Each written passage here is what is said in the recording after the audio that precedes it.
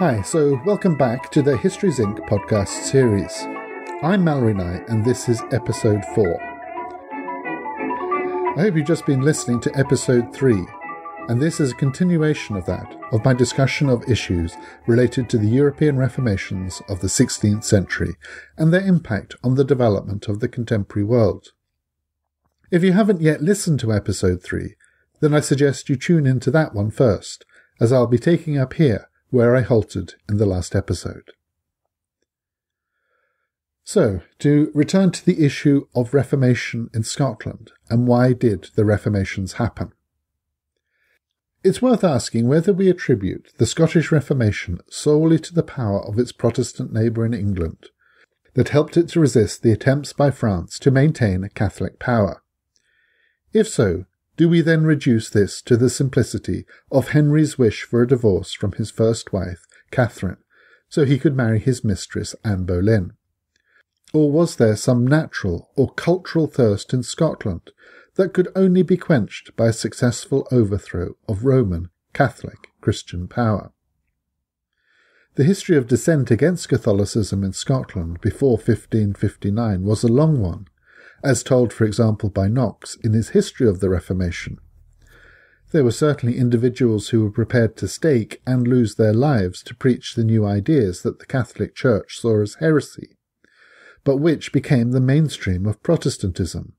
These included George Wishart, Patrick Hamilton, Walter Milne, and not to forget the six martyrs of Perth in 1544, who all lost their lives as heretics of some form or other.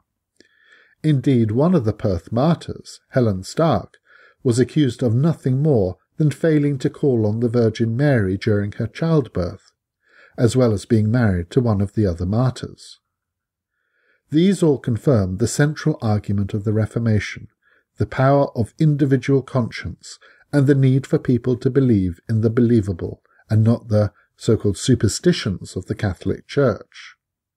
But in many respects it begs the question, or it avoids the issue of why, if the Reformation was so obvious to people, then why it didn't happen a century or more before. The power and wealth of the churches was an obvious issue, as we've seen, going through the centuries. In England, Henry's Reformation was not solely about taking ultimate ecclesiastic power. It was also about suppression of the monasteries and the appropriation of their significant wealth and property by the crown, by Henry himself. In Scotland, there was also an economic gain for the nobility and the crown from the Reformation and the widespread destruction of monasteries. Prior to the riots in Perth, there was also the widespread dissemination of the beggar's summons, which charged all the religious houses to give over their wealth to the poor and needy of the society. It was a promise of ultimate redistribution of wealth and social justice, which never quite materialized. In this respect, the Reformation was about class and privilege, taking power and wealth away from the church elite and putting it in others' hands, depending on the context of where the Reformation happened. This was a political revolution in England that left most of the structures of privilege unchanged and largely strengthened by the consolidation of wealth and in many respects the same could be said about Scotland too. What changed was the theological discourse, which permeated into culture and society in new and different ways. What happened with the Reformation was, however, also largely dependent on new technologies of literacy. It was no accident that one of the foundational issues of the Reformations was the access to the biblical texts in the vernacular language, what fueled this and fed from this was the development of the technology of printing, or to put it simply, the printing press. The Reformations were largely the result of numerous small, independent, and often illegal presses churning out tracts and pamphlets for widespread consumption. This in itself placed a greater emphasis on the written word, and from there onto the role of education as a means of teaching religious literacy the need to be able to read the Bible and commentaries. But such prolific and largely uncontrolled and uncontrollable dissemination of information and opinion was itself an important factor in revolutionary and thus religious change. Thus, one of the most dominant of social forces of that time, the undivided and hegemonic Catholic Church, was an easy target for challenge by the disruptive and revolutionary technologies of printing.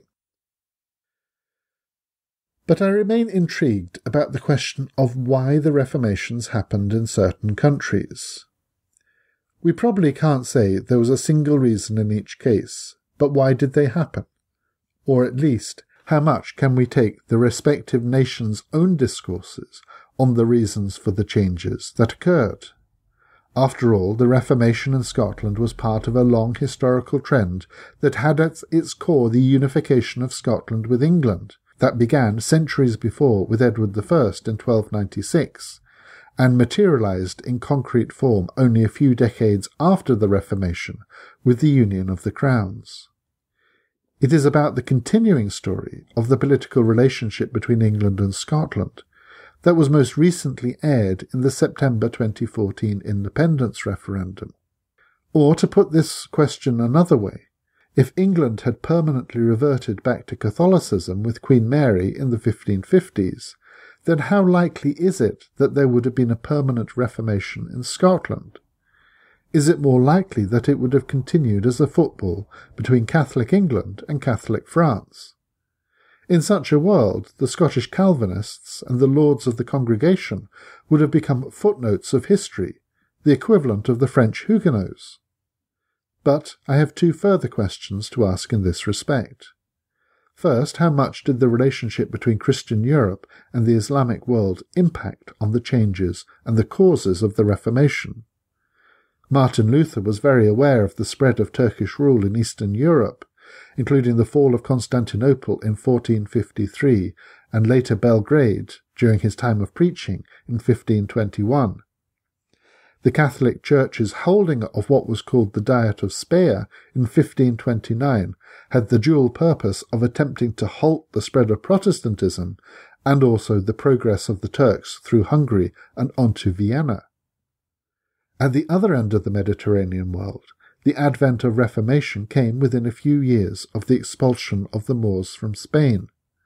This was a point of European history when the only crusades were for the re-establishment of Christian power within its own borders, as seen by the Christian Spanish.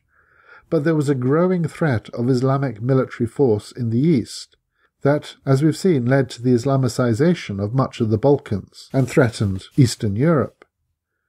Within these developments, John Knox himself uses Islam, what he calls the religion of Muhammad, as a rhetorical foil for determining the boundaries between the true religion of the Protestants and false religion of Catholics and Muslims. The Reformation also happened very much in the crucible of an expanding Europe. Not only a Europe expanding into the Iberian Peninsula and contracting under the advance of Ottoman power, it was expanding westward with the discovery of the new territories across the Atlantic, being colonized, as we've seen in the earlier episode, by the Spanish and Portuguese, and also expanding southern and eastwards past the southern tip of Africa and into the Indian Ocean. As I discussed in episode 2, Vasco da Gama had been sent by the Portuguese to open up direct trade with the Indian spice merchants. That meant they could bypass the powerful Venetians and Arabs in the eastern Mediterranean. One aim was to find a way for making a pincer movement round into the Holy Land, to reinstate a new crusade to re-establish Christian rule in Jerusalem. The outcome, though, was somewhat different. The Portuguese largely displaced the Arab spice routes in the Indian Ocean and built up new global colonies in India, the Indies, and onwards to the China coast. In doing so, they also colonized Brazil. Meanwhile, Spain carved up the rest of the world, and on the basis of the papal-backed Treaty of Tordesillas in 1494, expanded across the Caribbean, Southern and Central America, and also across large swathes of southern North America, Mexico, Florida, Texas, and California.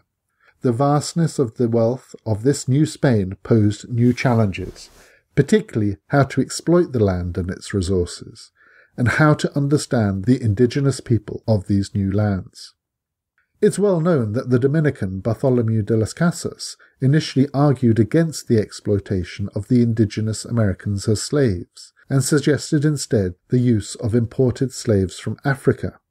He later retracted this argument and denounced all enslavement.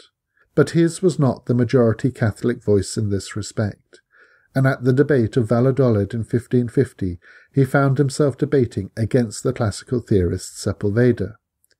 His arguments against enslavement of other races by Christians were strongly countered by other voices that saw it as the Christian duty to exploit the bodies of other non-Christian people. These debates were profound in themselves and were to be echoed over 250 years later when the then ascendant Protestant nations, particularly the UK and the USA, began to question the religious morality of the lucrative transatlantic slave industry. In short, the European world was changing fast in the first half of the 16th century, and there is a strong case to say that these changes and the challenges they created were significant influences on the growth of Reformation.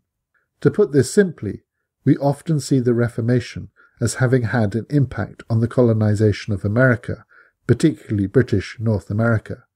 But the reverse may also have been the case that is, the Spanish and Portuguese expansion in North, Central, and South America, and also to the east into India and Southeast Asia, may also have been instrumental in the rise of Protestantism.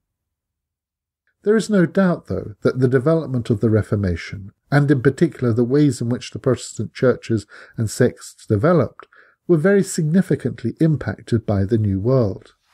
We only need to think of the English settlement in Northern America particularly the attraction of New England for Puritans, with colonies created in Massachusetts Bay, Plymouth, and Rhode Island, all motivated and developed by a desire to create something new for Christianity, or at least to return to the pure roots of Christian community.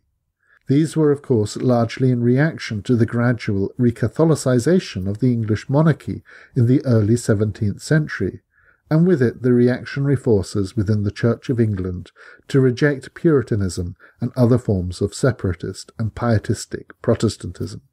But New England was itself to create its own tensions, and the figures of Roger Williams and Anne Hutchinson, both of whom were exiled from Massachusetts Bay for religious dissent, are both foundational figures in American history.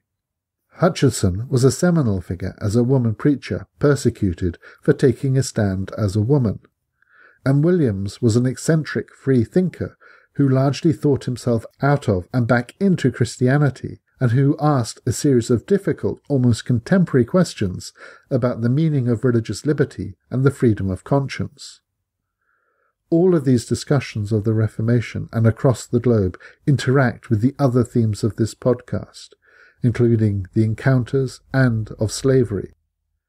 I also have questions in the back of my mind about what some thinkers, such as the 19th century writer and preacher Theodore Parker, called the Second Reformation. That is the rise of transcendentalism, the ideas of figures such as Thoreau and Emerson, and many others, that were part of the major religious changes in North America in the 19th century. And from my brief exploration of this so far, such rethinking and reformations of American religious thoughts in the 1800s are continuing to have an impact on contemporary religion and spirituality, both in America and elsewhere. I'm not sure where this will take me as yet, but it is something that I hope to explore further at some point in this podcast series. So, thanks for listening to these two podcasts on Reformation. In the next episode, I'll stay with the topic of religion, but instead I'll focus more particularly on Islam through the lens of exploring the history of relations between Europe and the idea of Europe and the Islamic and Muslim world. See you in the next episode. Bye for now.